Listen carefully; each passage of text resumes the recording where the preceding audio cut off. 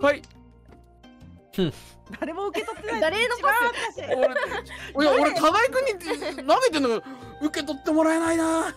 あー片思いなんだ。片思いなんだよね。ね。うん辛いね。マージャンはいつも片思い。どういうこと？えどういうこと？詳しく聞きたい どういうこと？すごい。なんかマージャンはい。いどういうこと？ちょっとやめて今本当に会話に30%ぐらいしか避けてないんだから。ポーン。おいマージャンはいつも片思いなの？そういうこともあるよね。えわかんない。静かに。ちょっと本当に静かに今一緒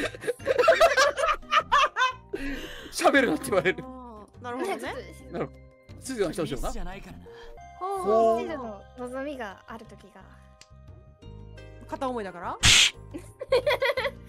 嫌い先生次あと3回言ったら嫌いになるそれ。結構 言えるやんまだまだ言えるな。まだ30もあるよ残り。ないよ。長いね。まだ29枚も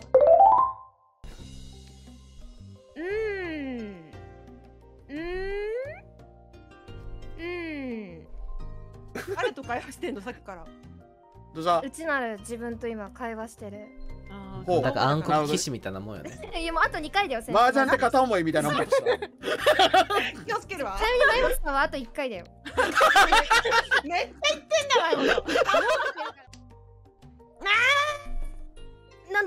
ノイズキャンセラーで死んでこういうとこでノイズキャンセルがノイキャンかかった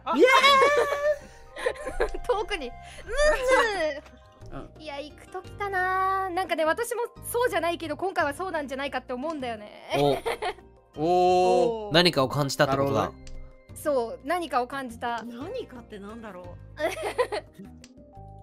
うまあ麻雀は片思いだからねそうそう先生あと1回だよ リーチだリーチだ。覚えてるちゃんと。先生あと1回ね。なんかでも罰ゲーム欲しいよね。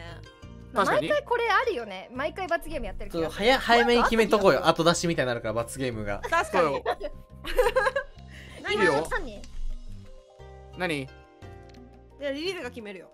私が決めるの？うんいいよ。ええまあでもツイッターの名前系か無難なとこだよね。ああっと麻雀は片思いってどうだって？どういうこと？どういうこと？私の罰ゲーム誰がなってねえず麻雀は片思い。何 麻雀は片思いってそれはもうすでに入れれるもん私恥ずかしくないよ。カン！恥ずかしくない。ダメか恥ずかしくないまであるじゃんさ。パッと出ないな。みんな結構恥がないタイプだからな。恥がないタイプって言うなよ。思われてる恥ずかしくない人たちだからな